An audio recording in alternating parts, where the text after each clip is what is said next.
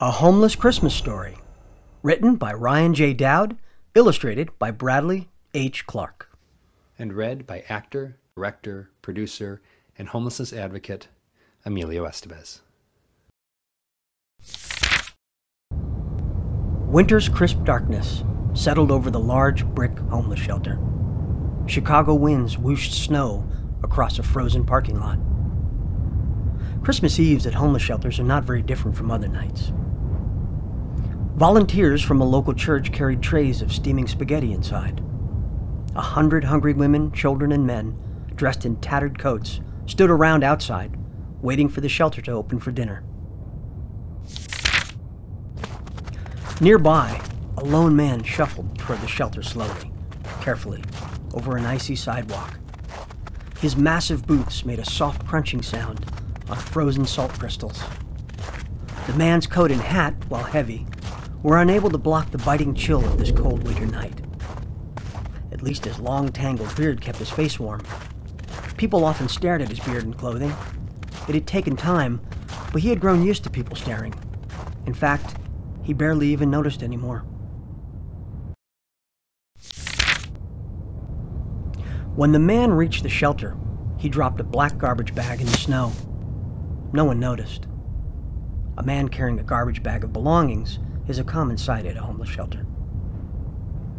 A woman, in a coat four sizes too large, smiled at the man and offered a broken candy cane. He politely declined, rubbing his hands together to keep warm. Finally, the door to the shelter opened, and everyone formed a line to go inside. The line moved like molasses. Some people had lost their shelter ID cards.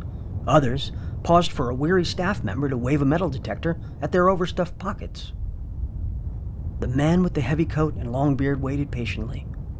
When it was his turn, the staff member greeted him by name and welcomed him in with a tired smile and a sincere Merry Christmas. The man heaved his heavy, drained body into the warmth.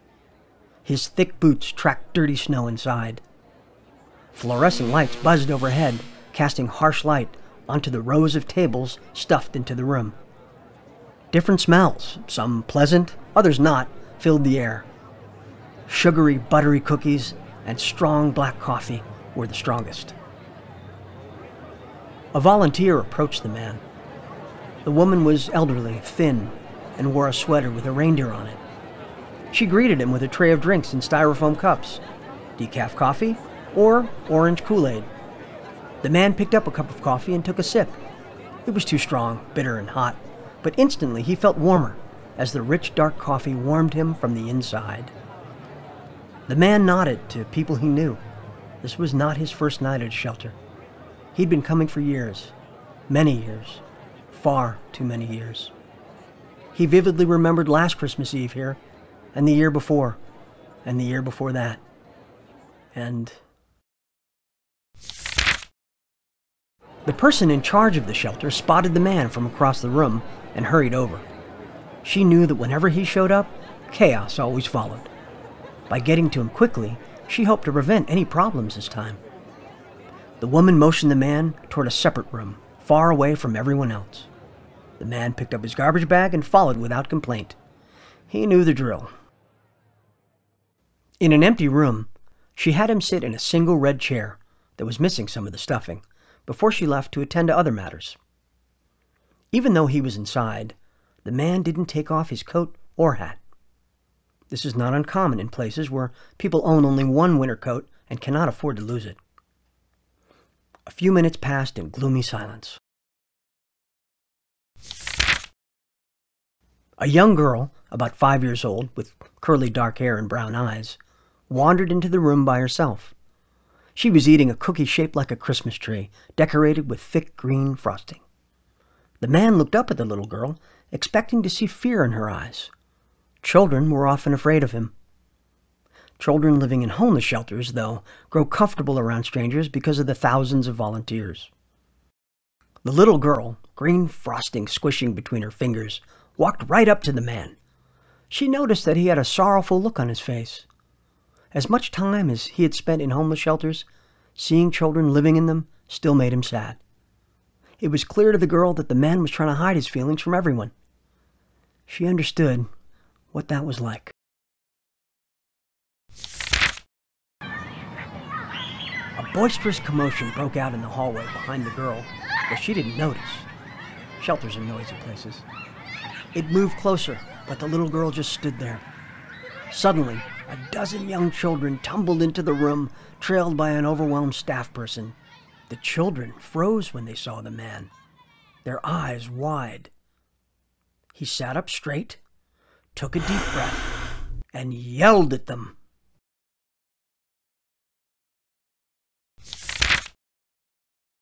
Ho, ho, ho! Merry Christmas! The little brown haired girl crawled onto the man's lap. Presents wrapped in shimmering paper with colorful bows spilled from the garbage bag. The other children giggled, scrambling to form a line. Looking up at the man, the little girl asked, What do you want for Christmas? He was silent. He imagined a world without homelessness, a world without shelters, a world where every child, every person has a home.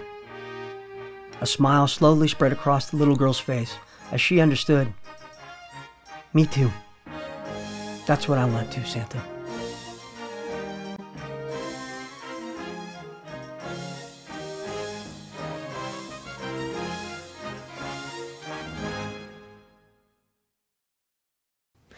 Thank you for reading our book. The team and I had an amazing time creating it for you, so thank you.